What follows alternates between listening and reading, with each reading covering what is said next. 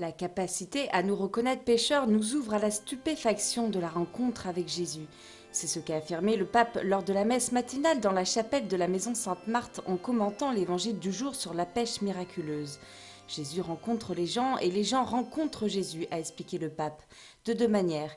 Il y a celle de Pierre et du peuple. L'Évangile dit qu'ils sont restés stupéfaits et celle des docteurs de la loi. Ils n'ont pas voulu ouvrir leur cœur, continuant leurs calculs.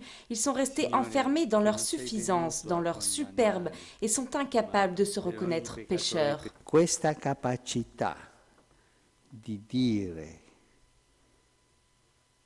che siamo peccatori ci apre allo stupore dell'incontro di Gesù Cristo. Il vero incontro. Cette capacité à nous reconnaître pécheurs nous ouvre à la stupéfaction de la rencontre avec Jésus-Christ, la vraie rencontre. Dans nos paroisses, dans notre société, mais aussi entre les personnes consacrées, combien de personnes sont capables de dire que Jésus est le Seigneur? Beaucoup.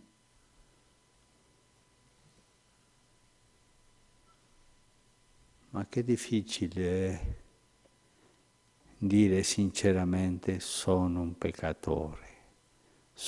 Mais quelle difficulté de dire sincèrement je suis pécheur ou je suis pécheresse. Eh? C'est plus facile de le dire des autres, hein Qu'est-ce que l'on bavarde? Eh?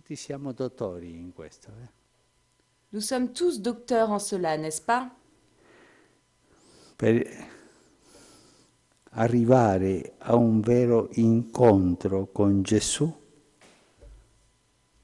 è necessaria. Une double confession est nécessaire pour arriver à une vraie rencontre avec Jésus. Tu es le Fils de Dieu et je suis pécheur, mais pas en théorie. Pour cela, pour cela et pour cela.